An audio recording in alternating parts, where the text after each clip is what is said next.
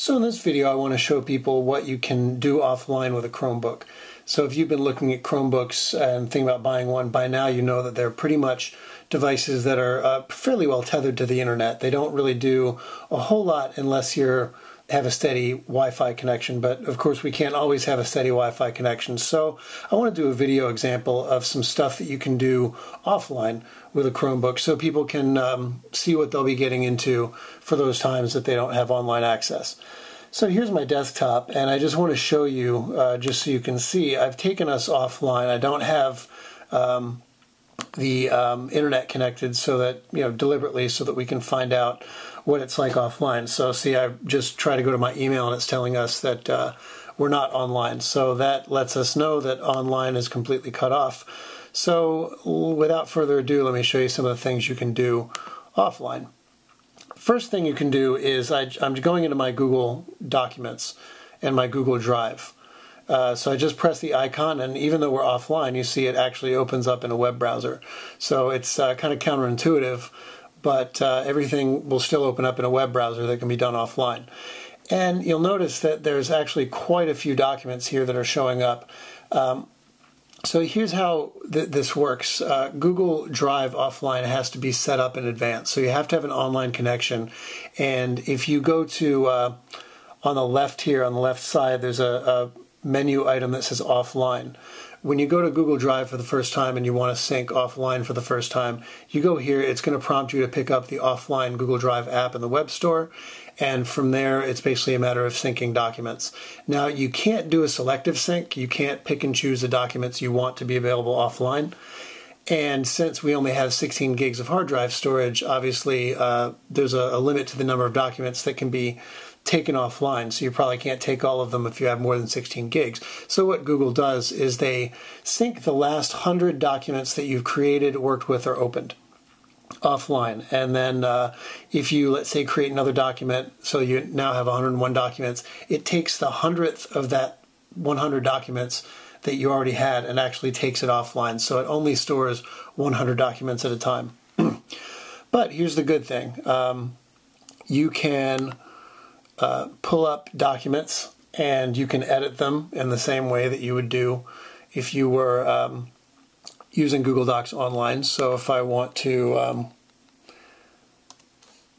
you know, change some things around, I can do that. So, and what it does is it saves everything offline. It saves your changes offline until it gets online again, and then it actually syncs up in the cloud. So even when you're offline, you don't need to actually save anything. You can't save anything um, manually. It just saves every few seconds like it does online. So you can do that with uh, documents. You can do that with um, slides. Let's see if I have a good presentation here. Uh, Google Slides presentations you can edit. The only thing you can't edit and you can only view at the moment are spreadsheets.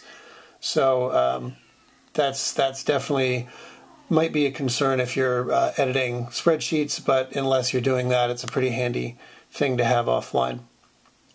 So the next thing you can do offline is if we go into settings, I can uh, go into Gmail offline. Again, this is an app you need from the App Store, and you're going to have to sync it in advance.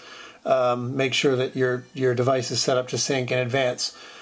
And you'll notice that uh, just like Google Drive, it stores an impressive amount offline. I, am not sure it's all the emails that you have, but it stores a, a pretty impressive amount offline. So you'll notice that, let's see, let me pick a good one. Um, I can open an email offline. I can actually reply and type the text of the email in. And what it will do if I type anything is it will um, once I press send, obviously it can't send it unless it's online, but it will save it uh, until it's online and then it will send it.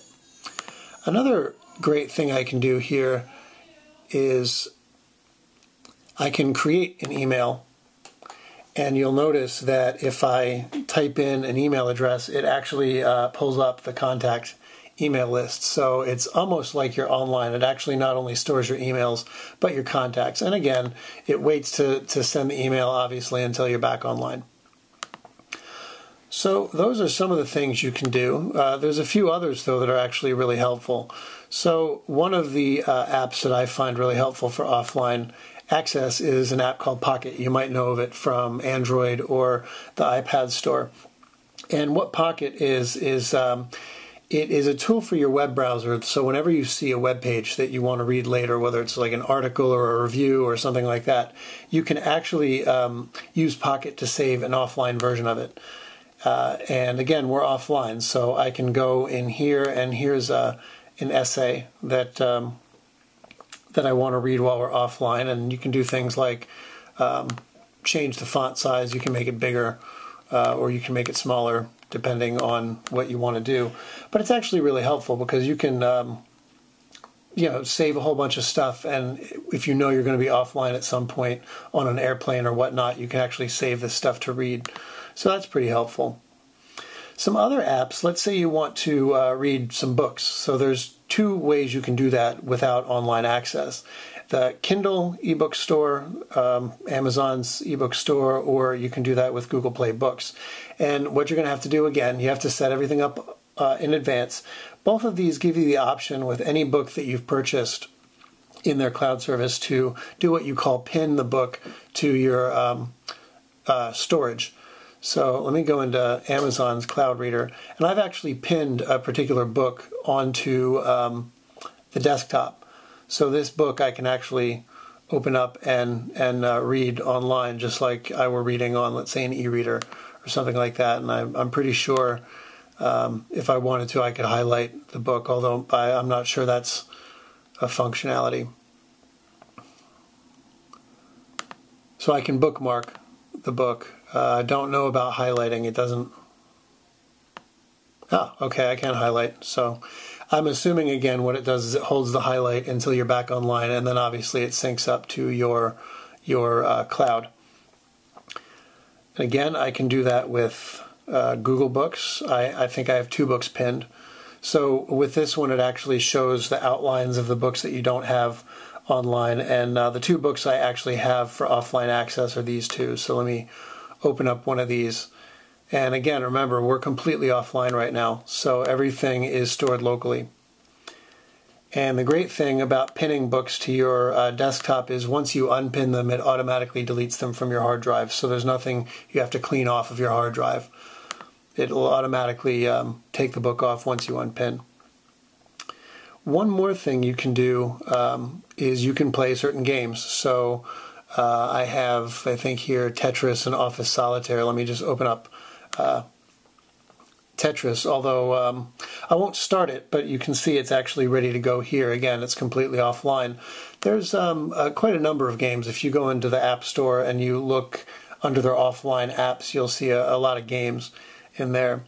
And one more thing before I uh, forget, there's several note-taking um, apps that, that will work offline. Uh, there's Google Keep, which I believe comes pre-installed.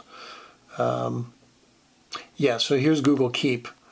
And what you can do is actually um, just create a brief note if you're um, thinking about a certain thing and you don't want to lose it or you're trying to write down a phone number. I use it a lot for writing down phone numbers. Uh, in fact, you can, can do that. And then again, it saves it and then syncs it to the cloud once it's uh, done. You can also, uh, another one I like is Wordflow. And it just opens up just a blank um, document here and you can just write whatever you want and once again it saves it to the um, the web once you're done.